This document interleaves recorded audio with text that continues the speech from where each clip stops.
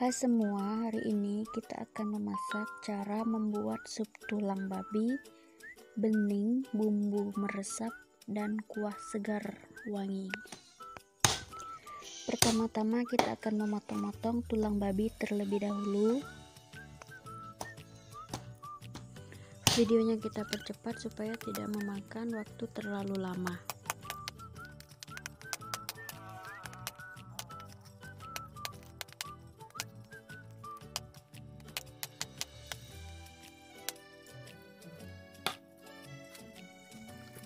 Nah ini sudah selesai. Sebelum dimasak jangan lupa dicuci terlebih dahulu. Ini dia bumbu-bumbunya. Di sini kita menggunakan bumbu alami semua. Kita langsung ke cara memasak.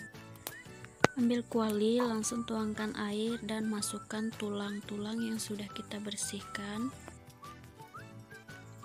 Masukkan juga semua bumbu yang sudah kita siapkan. Lalu ditutup. Beberapa menit kemudian kita aduk-aduk, kemudian kita tutup lagi.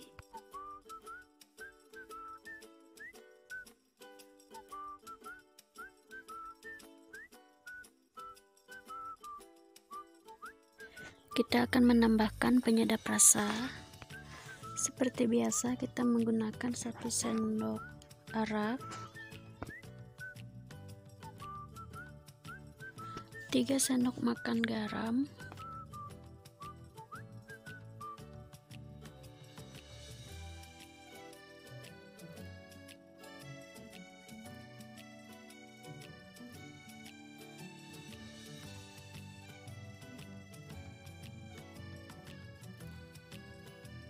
dan satu sendok makan ajinomoto.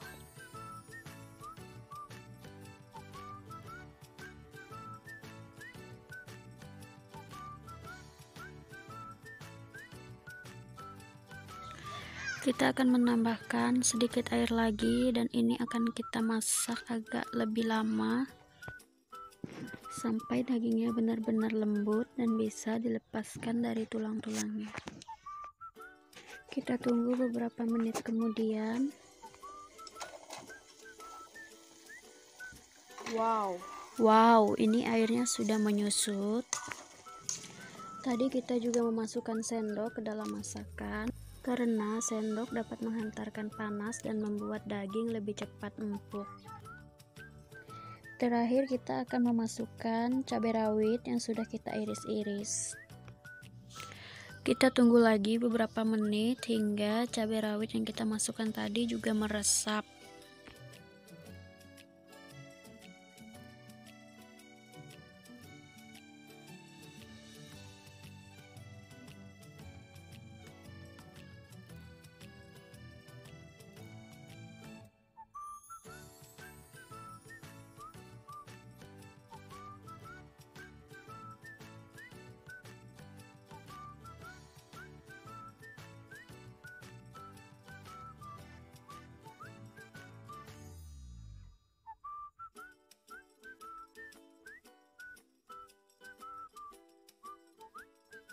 Oke, sekarang kita matikan gasnya.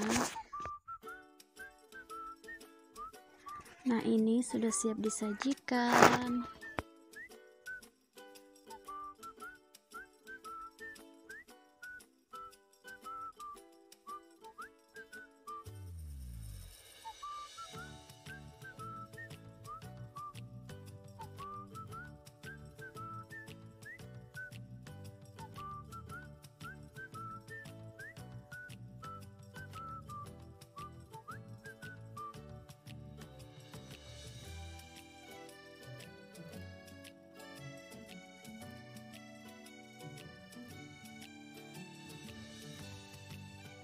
Terima kasih sudah menonton video ini hingga selesai.